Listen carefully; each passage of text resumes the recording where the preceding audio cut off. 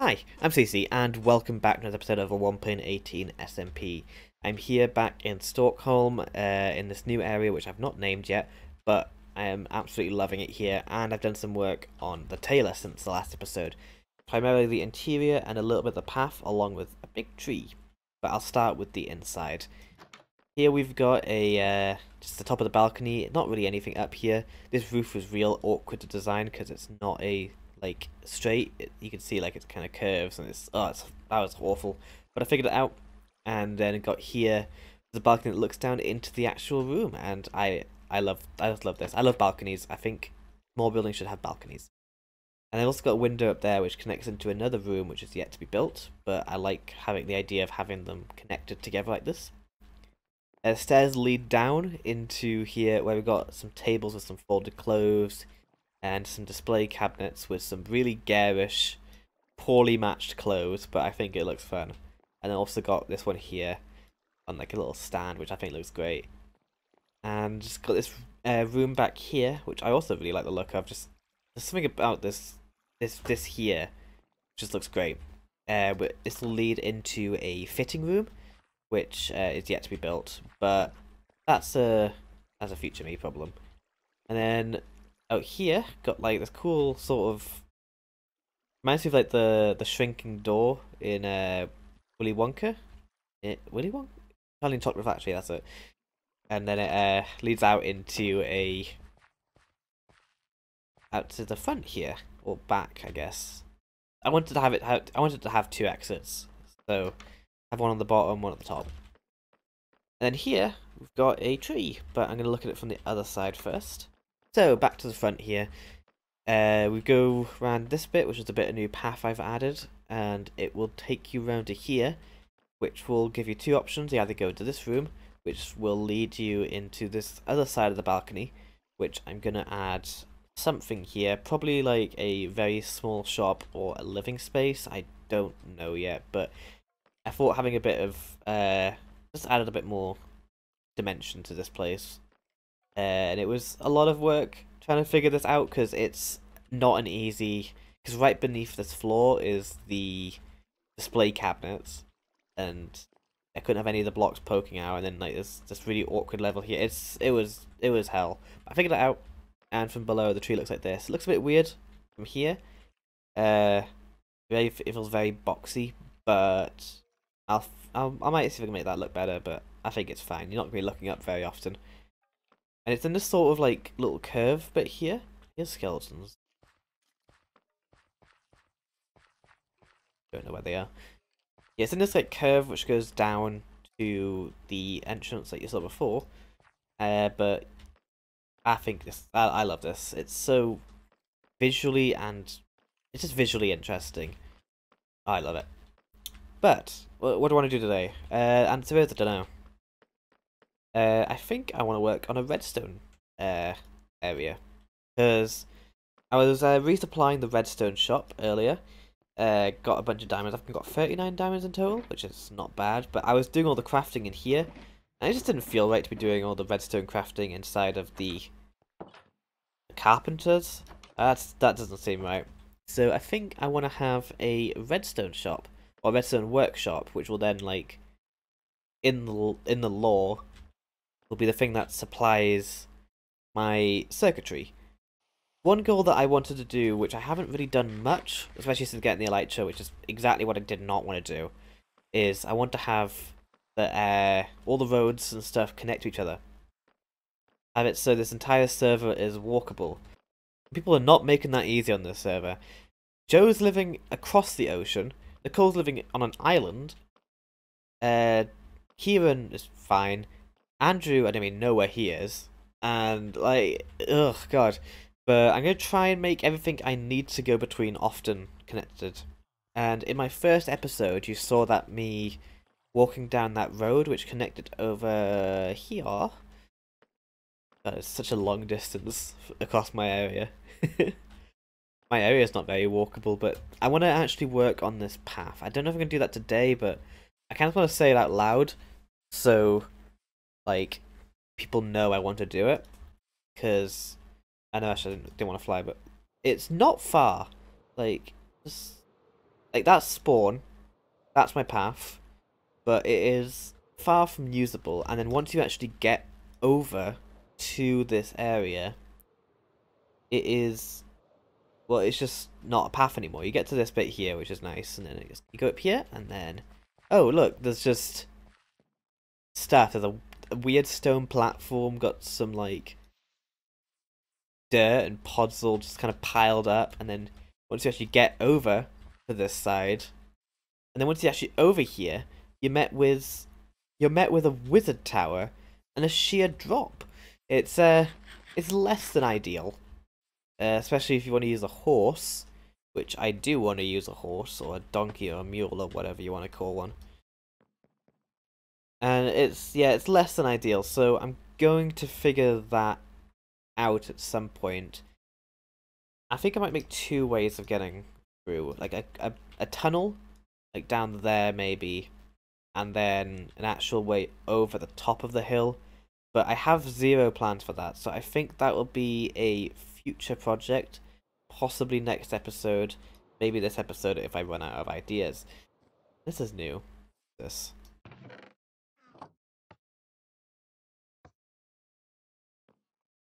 Probably shouldn't press buttons or stuff that isn't. I don't know what to do.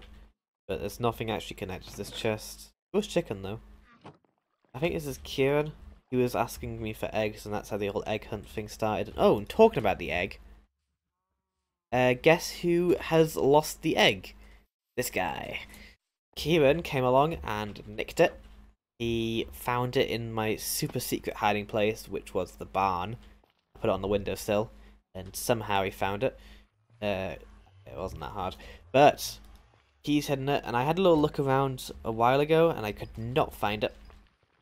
But I'm going to have another look now. He said it's easier than the first spot, but the first spot was the first place I looked, so Clearly, it's harder. I, I don't fully know Kieran's area well enough to get an idea of where the egg is. I realize I've not brought the tools to actually break the egg, but I can I can nick from Kieran. I've got the torch, doesn't need to find a piston. Kieran's area is very dark, is not very helpful. Oop, hello. So there's two main sections to Kieran's base. You've got down and you've got over here. Uh, and over here is a geothermal research center. I already had a look down here. I did not find it. I'm terrible at hide and seek. So this game he's introduced is less than ideal for me. Whee! Okay. And the other area is down here, which is his storage system. So I've got my uh, little village area, which is semi-automated as my storage system. And then Kira's got this. Like, so cool. But also, Jesus Christ. Just keeps on going. It's so big. If he has put it in there, I need to figure out how to get in there. But I don't think it is in there. I I don't see it anywhere.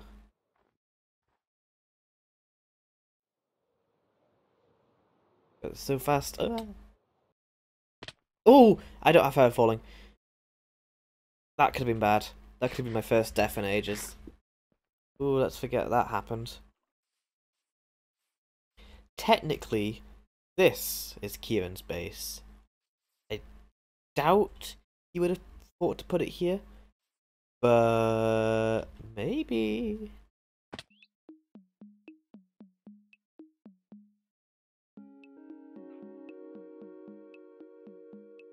Oh man, I thought I was being so clever, but uh, it's not here. Maybe it's in there. Uh, how do I get down without breaking my kneecaps? I don't know if you would count shops as being his... Ow! Got a punch bow. he counts shops as being part of his uh his base. Can't believe it.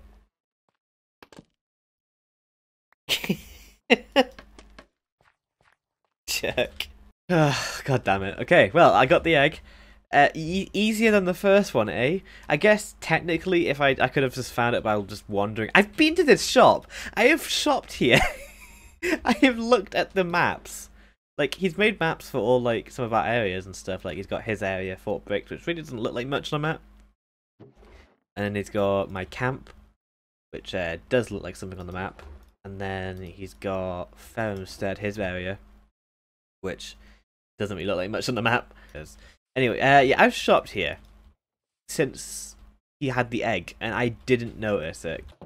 Uh, and also one more shop that's opened here is uh, Joe is opening up a shopping area called Blocky Harbour, based on Akihabara from uh, Japan. I think it's in Tokyo. I'm not certain though.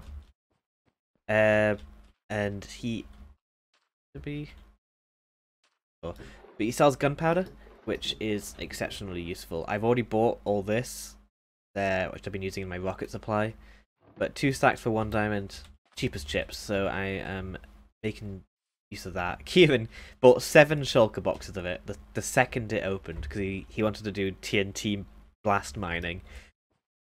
but I need to go find myself somewhere to hide this egg and then, uh, yeah. It has been a few days since the last clip and no one's actually found the egg yet, which I'm quite surprised at.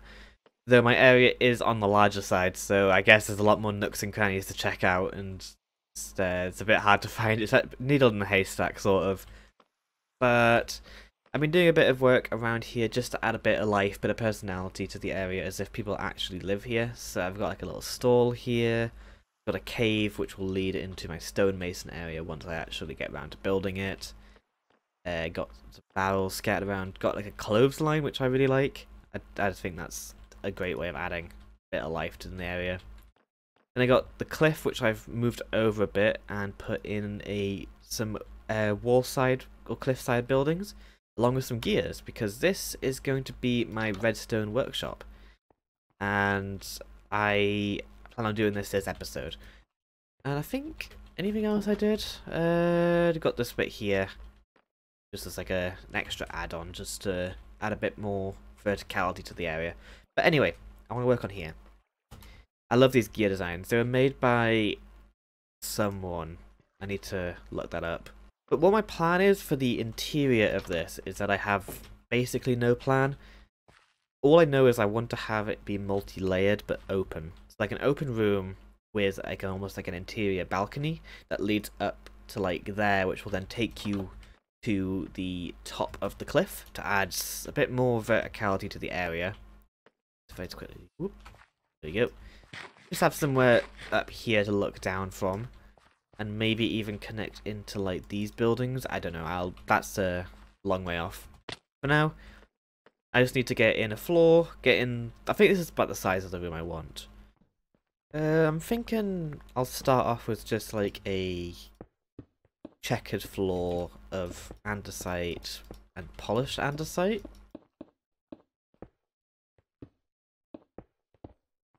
Okay, got the floor in and need to put the walls in now, but I don't know what walls I want. Maybe I could do keep the terracotta and have like cave walls. That'd be interesting. Or should I just stick with the slate? I might stick with the deepslate. Yeah, I'll stick with deepslate just to not lock the boat too much. Effectively, I need to clear my inventory as well.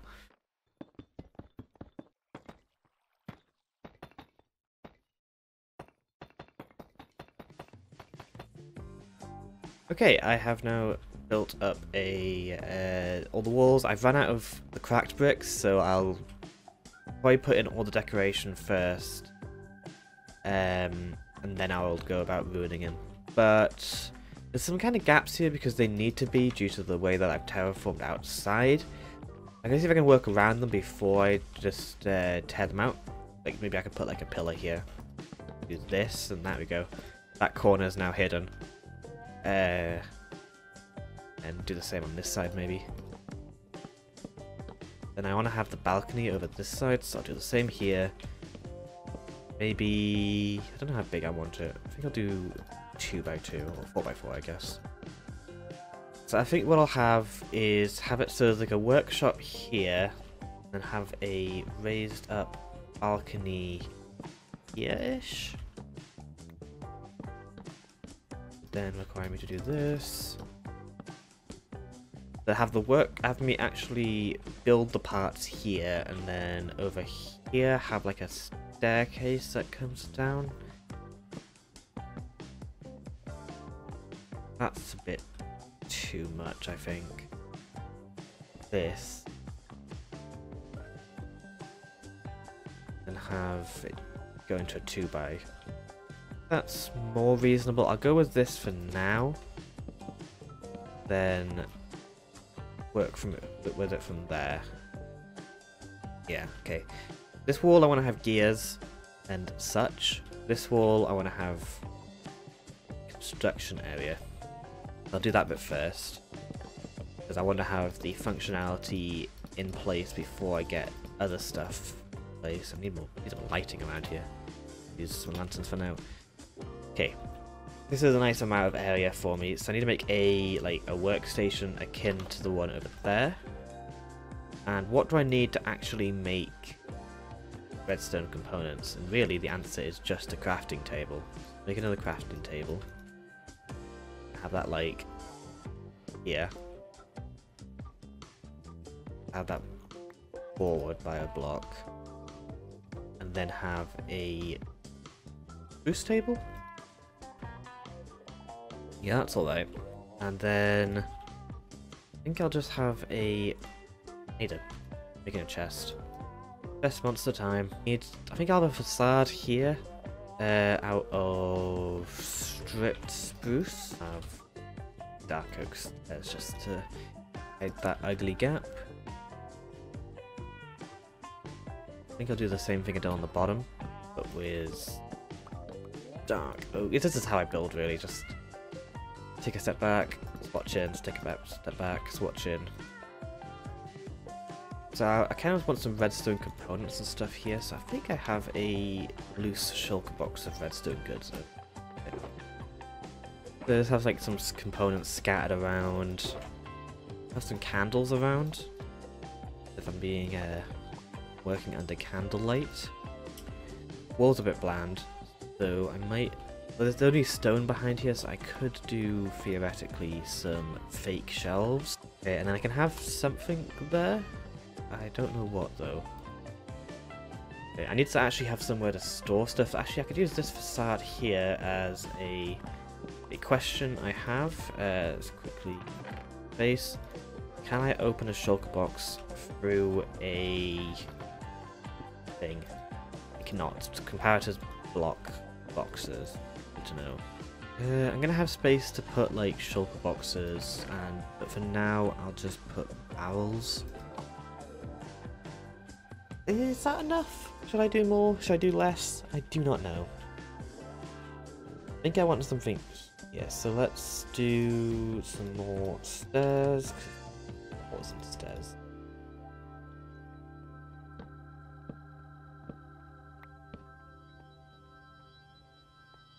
So I'm going to try doing this, this. Just add a bit more decoration design to it. Uh, I need to put some trapdoors up there. But I think that's good for now. I don't like how dark it is, but once I light the candles, it should be fine. I'm going to go look for the flint and steel, actually. And I get some more wood while I'm out there. There we go, that's nicer. Um, yeah, I'm going to have to... I might leave this open, actually. Instead, just have it so I can put shulker boxes there when I need. I have a few in, just for the sake of looks. So this is that bit done. So now I just need to turn my attention to over here, which is mainly going to be made out of copper, probably. I'm going to keep the same aesthetic I have going out here, but like inside here. So I have some copper gears, different sizes, doing absolutely nothing. I need a roof. I don't know what the roof's going to be. I never know what to do with roofs.